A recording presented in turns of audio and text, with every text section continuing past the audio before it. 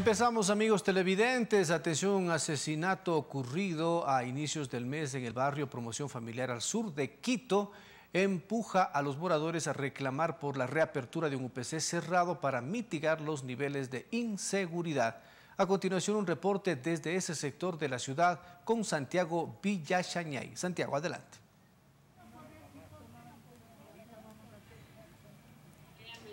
¿Qué tal compañeros? Nuevamente en contacto, permanecemos acá en el sur, en el punto exacto sobre la Serapio Japeravi y el pasaje donde el 3 de diciembre ocurrió un asesinato, la muerte de un hombre al que por tratarle de quitar un celular le arrebataron la vida el 3 de diciembre. La, eh, la Serapio Japeravi que es una de las vías principales del barrio Promoción Familiar, acá en el sur de la capital. Cerca está la Cardenal de la Torre, la avenida Cardenal de la Torre, la Javí también, que es una vía muy comercial, la Mariscal Sucre, y por acá están los vecinos Vamos a caminar un poquito la, la Serapio Japeravi. Véngase, vecina, por acá. Usted es una de las iniciadoras del barrio, ¿verdad? Claro, yo vivo aquí 46 años. Caminemos un poquito la Serapio, 46 años. ¿Cuál es su nombre? Rosa Suárez. ¿Y cómo ha visto la evolución de la, de la temática inseguridad en su barrio?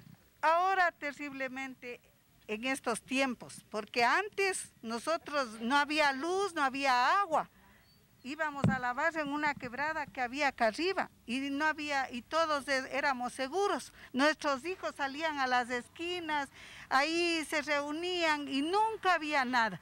Pero hoy lamentablemente no podemos ni salir ni vestidas porque apenas nos ven con casterita, con una funda, nos van arranchando. Entonces pedimos que por favor nos colabore la policía en más seguridad y en la apertura del, UPC. Por acá está otra vecina, justamente el UPC que está cerrado, que queda sobre el, en la Cardenal de la Torre, está cerrado, que lo reabran. Que lo reabran, a veces necesitamos eh, que nos eh, colaboren con el...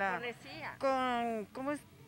Los patrullajes. Los patrullajes, sí, porque eh, aquí en este contenedor de aquí también se esconden los ladrones.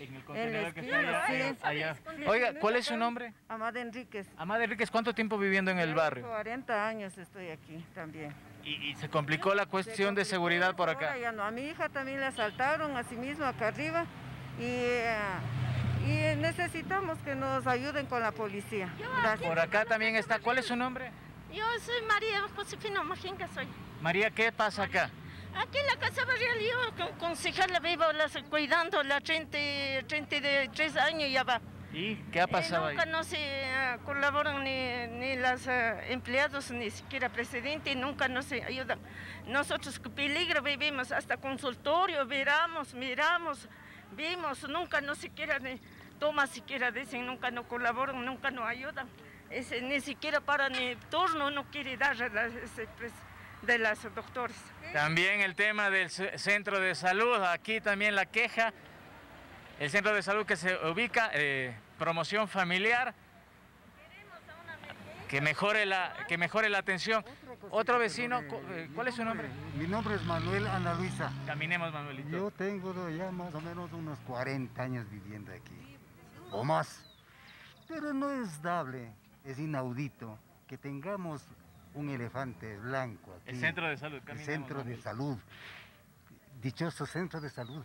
Que yo he venido con un dolor de cabeza. ¿Y lo han atendido? ¡Qué bestia! Me mandaron a coger, me mandaron a coger turno por internet. Y vaya a ver la gente, vea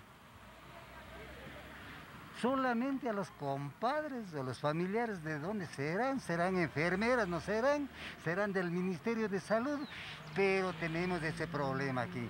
Gran problema para el barrio, para una emergencia, no solamente en el día y en la noche, debemos tener emergente este elefante blanco aquí. Bueno, Manuel, ahí está.